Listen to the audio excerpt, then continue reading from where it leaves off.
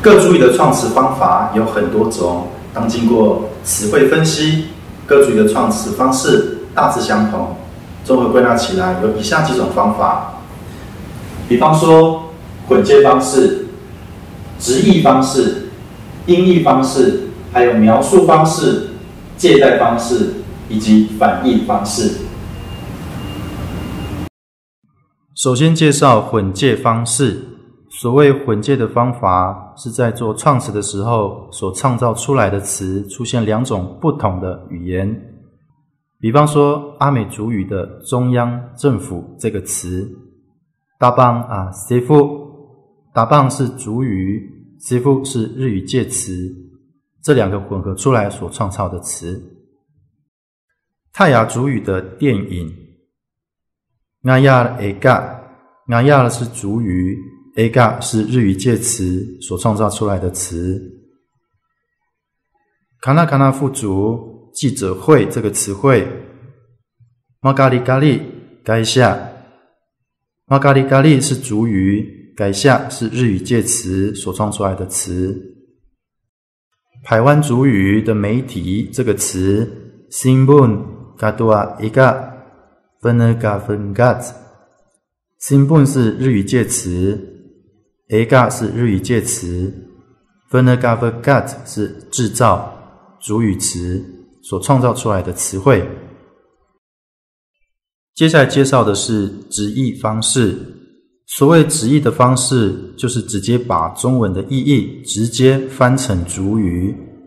比方说，少主语的“手机”这个词汇，lima wa den wai，就是手加电话。周主语的“自治”这个词汇，iazhi。阿尔的这就是自己加管理的意思。接下来介绍音译的方式。所谓音译的方式，就是直接采用外来语的音，然后不做任何的变化。比方说“鉴宝”这个词汇，亚美族语说“君巴”，撒格拉雅语说“君宝”，卢凯语说“君宝”。比方说“公司”这个词汇，塞夏族语说“古西”，阿美族语说“古西”，斯格拉雅族语说“古西”，泰雅族语说“古西”。另外，“电脑”这个词汇，赛德克族语说 “computer”，而使用音译的方式。接下来介绍描述的方式。所谓描述的方式，就是来描述、形容一个人或一件事情或一个东西的特征。比方说，赛德克族语的“交流道”这个词，“alu aswai”，解释成“分开的路”的意思。塞夏族语的“志工”这个词。布列嘎哈伊拉嘎妈妈达瓦尔，解释成丢掉时间的工作者。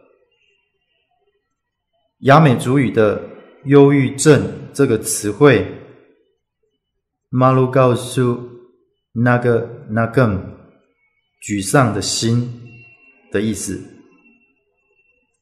拉鲁啊族语的博物馆这个词汇。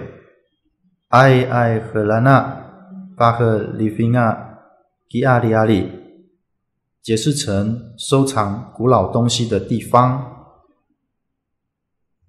萨吉拉雅族语的科技这个词汇，伊多古奈古迪嫩，解释成在顶尖的知识。卑南族语的小耳朵或者天线这个词汇。斯马西勒的迪努瓦道那萨赖解释成正在吸收画面的线。布农族语的高铁这个词汇，马伊菲比斯卡夫杜赖赖萨布兹解释成特快的火牛车。卢凯族语的自由这个词，尼嘎玛尼，我自己愿意做的意思。接下来介绍借贷的方式。所谓借贷的方式，就是不直接按照中文的词汇去翻译，而是用其他的事物来代替来表达。比方说，泰鲁格族语的“手机”这个词汇，跟那瓦了，人嘎干的的森，解释成携带的、用来说的线。接下来介绍反义的方式。所谓反义的方式，就是不按照正面的意义去解释，而是反过来解释，但是不脱离它的本意。比方说，格马兰族语的“自由”这个词汇 m a 大 d a 解释成没有围住的意思。以上所呈现的各组的创始方法。来提供给各组的心智讨论小组作为创始的参考以及方向。